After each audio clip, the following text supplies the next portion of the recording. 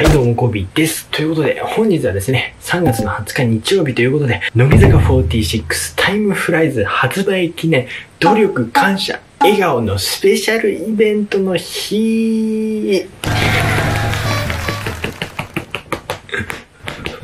ということで本日はですね、おそらく北野日な子さんが乃木坂46として最後となるリアルイベントの日だったということで、僕もね、そちらに参加させていただいたので、まあそちらのまあ簡単な感想と、まあ雰囲気とかをね、お話ししていけたらなと思います。ということで、この動画少しでもいいなと思った方は高評価、コメント、さらにはチャンネル登録してくれたら、めちゃくちゃ喜びます。ということでやっていこう。ということでね、今日の動画ですね、まずね、え会場の雰囲気、そして、えイベントの内容、そして最後僕の感想という感じのね、3部構成でやっていきたいなと思います。ということでね、え最初は会場の雰囲気、え作りとかをね、説明していくんですけども、僕ですね、最近行ったこういうイベントだと、あの、去年の4月に行った乃木恋の彼氏イベントがあったんですけど、それ、まあ行ったのみやちゃんなんですけど、その時の席は、ね、横が8ぐらいで、で、縦が10列ぐらい。だったんですけども、今回のリアルイベントは、お部屋自体がすごい横長の部屋だったから、席も横長だったんですね。で、えー、横がだいたい17、8人かな？で、えー、縦の列が6列ぐらいありましたね。はい。で、えー、真ん中の前にはひなこちゃんが座る席と、あとはテーブルが置いてあって、で、その客席から見て右側に、え、大きいモニター、がついてて、で、左側にはスタッフさんがいて、みたいな感じのね、作りでございました。で、僕の席はですね、前から4列目の一番右の78番っていう席でしたね。あの、位置的にはそんな良くないかな。うん。やっぱ真ん中の方がおそらく、まあ、ひなこちゃんもね、こう目配せとか多くしてたと思うから、真ん中の席の方が、まあ、いい席なのかなと思いましたね。会場の作りはこんな感じで、で、お次がイベントの流れを説明しますと、まずは、だいたいね、4つで構成されていて、まず、えー、冒頭の挨拶と、あと近況報告。これがありまして、で、その次が、まあ、タイムフライズのイベントということで、個別のカスタムジャケットと、マイプレイリスト、あの、10曲選ぶやつ。あれについてのお話。カスタムジャケットはこういう理由でこの衣装を選びましたとか、プレイリストについてなんでこの曲選んだのかとかいうのをお話ししていただいて、で、その次が、え質問コーナー。入場した時に1人1枚紙をもらって、それに、えっと、ニックネームと質問を書く欄があって、まあ、ニックネーム書いて、で、好きな質問1個書いて、で、あの、参加するメンバー、の、えー、ボックスに入れて、えー、会場入りするんですけども、まあそのファンの人が書いてくれた、えー、質問を、もう本当ランダムランダムでガサガサガサーってって選んで読み上げて、で、質問について答えていくみたいな流れで、えー、それもまたまあ10分ぐらいかなやって、で、最後が、えー、じゃんけん大会。これが、えー、アテナとサイン入りの、えー、タイムフライズの個別ポスター。をかけて、えー、ひなこちゃんとファンの人たちでじゃんけん勝負をするっていう。で、最後の方、本当もう3人とか4人とか5人とか、そんぐらいの少ない人数になったら、まあ、あの、ファン同士で対決して、で、最後まで残った人が、えー、まあ、前に出ていって、えー、書いてほしい宛名を、えー、書いて、ひなこちゃんにお渡しして、ひなこちゃんが宛名書いてくれて、ポスターをプレゼントするっていう。それはね、多分ね、時間は決まってなくて、もう本当時間が許す限り。だからその最後のじゃんけん大会は多少そのメンバーごとで何回やるかっていうのは誤差ががあったのかなっていう感じですね。で、まあちなみにひなこちゃんは結構ね、巻き目でやってくれたから、それが多いのかわかんないんだけど、8人7人ぐらいはポスターもらえてた気がしますね。で、イベントの流れはこんな感じで終了でございます。は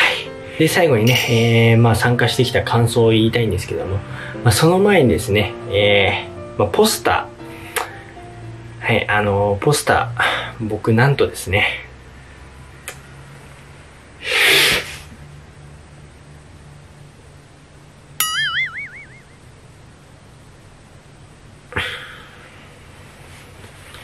全然ダメでした。はい。ポスターの方はもうほんとね、ほぼ初戦2回戦負け、えー、一番良くて3回戦負けみたいな感じでもう全然あの最後まで残るとかなく、かすりもせずに散っていきましたね。はい。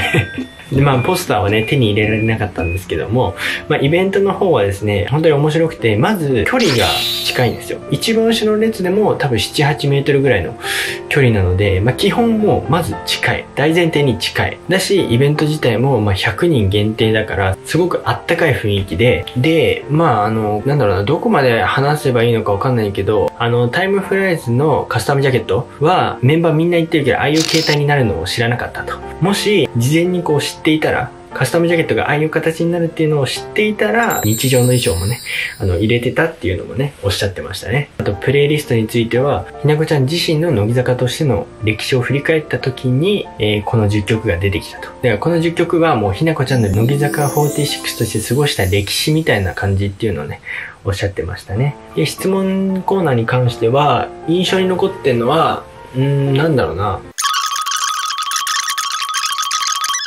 こんな感じかな？あとはね、あの、個人的にはですけども、ともかくあったかい雰囲気で、一番最後に何人か集団であの、ひなこちゃん推しの方々が入場されてたんですけども、みんな、あの、忘れないといいなで、ひなこちゃんがつけてたカチューシャ、目のついたカチューシャを持参していて、みんなで。みんなつけて、あの、そのイベントに参加してて、特定早えなと思って いや、さすがでしたね、あれは。うん。まあこれはもっと個人的になってしまうんだけども、隣の席がたまたま結構仲のいい視聴者さんの方で、で、2個前の席にもお話ししたことある視聴者さんの子がいて、もう本当にあの、めちゃくちゃ安心してイベント参加できましたね。正直ね、その、ミリアちゃん推しとしてオタクしてた頃、俺ほんと周りにミリアちゃん推しの友達も全くいなくて結構寂しい思いをしてたのね。だから近くにこうひなこちゃん推しがいるっていうのはねすごい安心してあのイベントに参加できましたね。はいすごい楽しかったです。で、あとはまあさっきも言ったけど、じゃんけん大会はね、全然勝ち残れませんでしたね。これはちょっとね、僕の配信者としての度量が足りませんでしたね。まあイベントの感想としてはそんな感じですかね。30分というあの短い時間ではあったんだけども、こうすごく中身の濃いね、あの30分が過ごせたので、えー、まあひなこちゃん最後のね、リアイベということで、本当に一瞬だった。もうひなこちゃんのリアルイベント、よし、スタートですあ皆さん拍手お願いしますあれ？え、終わった？みたいな。もうほんとそんぐらい早く、早い。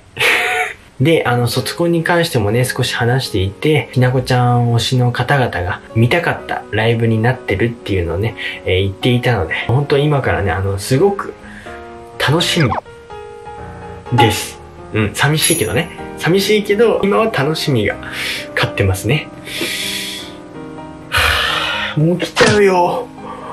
早えよ。はい。まあ、ということで、えー、今日の動画はこんな感じです。はい。リアルイベントね、あのー、まだこう、コロナでね、あの、延期になってるメンバーもね、かなりいるので、えー、この動画が参考になればいいなと思っております。はい。それでは、本日もご視聴ありがとうございました。また次の動画でお会いしましょう。美味しくなれよ。